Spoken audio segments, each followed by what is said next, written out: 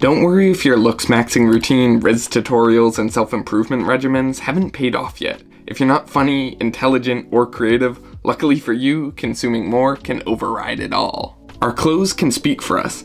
This fit says I've never been outdoors, and this one says I'm scared of women. But in all seriousness, it's incredibly interesting how our clothing is a reflection of us, and how this idea has specifically shaped recent styles and trends. The popularity in what your sneakers or outfit says about you shows how much people really care about how their style is perceived. There's many trending aesthetics and cores that all come with different notions and stereotypes.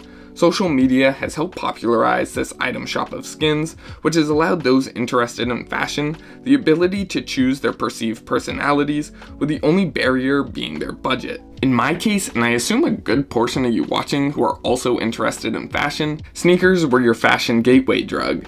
The popular athletes or cool kids always seem to have the best sneakers growing up. That being said, I also remember kids who maybe weren't super popular or considered cool coming to school with the new Christmas LeBrons or Aunt Pearl KDs and all of a sudden receiving attention. The concept of consuming fashion to get attention has never been more possible than during the past hypebeast era. More than anything, the Hypebeast era valued money, hype brand names, and exclusivity as it exposed how much attention you could buy from wearing a Bape Shark hoodie and Adidas NMDs. Reflecting on past fashion content shows just how pay to win this era of fashion was, where anyone could safely rely on the hype clothing rather than their own personality. Looking at today's popular style trends, money is still clearly a significant factor, yet it's not nearly enough to just have expensive pieces to be considered fashionable. The distaste in current trends is not only a reaction of trends being pushed down our throat, but also a reaction to those who have used trends to buy status. It's now too easy to buy the latest trend or most exclusive recent sneaker release,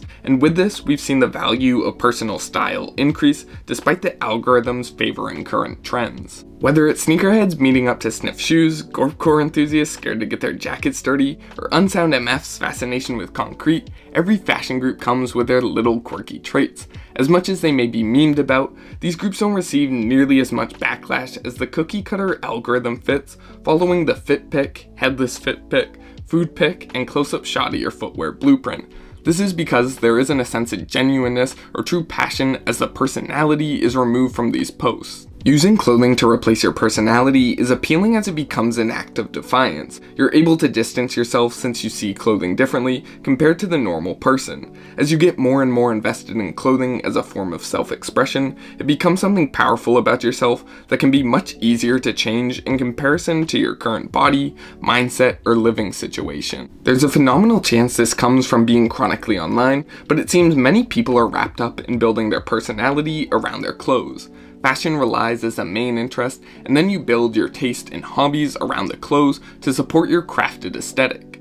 It's pushed online through the importance of aesthetics, where it's best if all your interests align to build upon one another since you benefit on social media from mastering one aesthetic for followers to identify and get behind, the idea of constantly experimenting outside of a clear, recognizable lane of being the streetwear guy or vintage guy isn't as encouraged. Being a poser has always been a threat when it comes to fashion and the concern of your style not being genuine to who you are. The most widely known example being non-skaters wearing skate clothes, or the more recent concern of non-hikers wearing Arc'teryx to walk around the city. I've never thought you needed to be able to jump the Great Wall in order to wear Supreme, Palace, and Thrasher, but finding an interest in your clothing is clearly beneficial compared to blindly buying whatever is trending. There seems to be this idea that to have personal style, your outfits avoid whatever's trending. When you base your style on what you've been interested in for years, and suddenly a staple of your style style becomes trendy, it doesn't make your style any less personal. It doesn't matter how many videos I see saying Jordan 1s and Dunks are dead, lame, and PC shoes, I'm still going to look at them the same because I was genuinely invested in them before owning them. The internet has made it extremely easy to replicate having good taste with everything. Social media and following your favorite influencers has produced blueprints to replicate good taste or commonly whatever is currently trending. The appeal to copying taste is understandable as it becomes easier to break your comfort zones when you can lean on your decisions coming from someone else. But ultimately, by following these blueprints, it reduces a self-expression or exploration of building your personal style composed of your own taste. This goal of personal style that's valued so high up on this personal style pedestal may not even be as personal as you'd like to think. Even if you're not walking around in Adidas Sambas and head-to-toe Stussy gear, we're all byproducts to the algorithms feeding us content. Even if we dropped the phones and deleted our social media accounts, our decisions are still based on our hardwiring to enjoy what we've been told to. There seems to be this common egotistical motivator in wanting to dress and be different from others, which only causes us to increasingly value the opinion of others that we're trying so hard to differentiate ourselves from.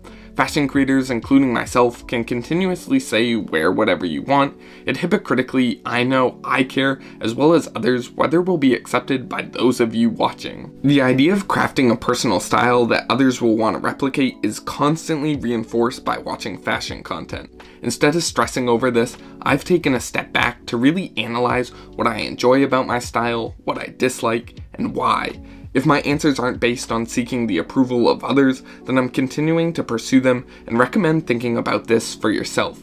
Share your thoughts below, and I hope to see you next time. Peace.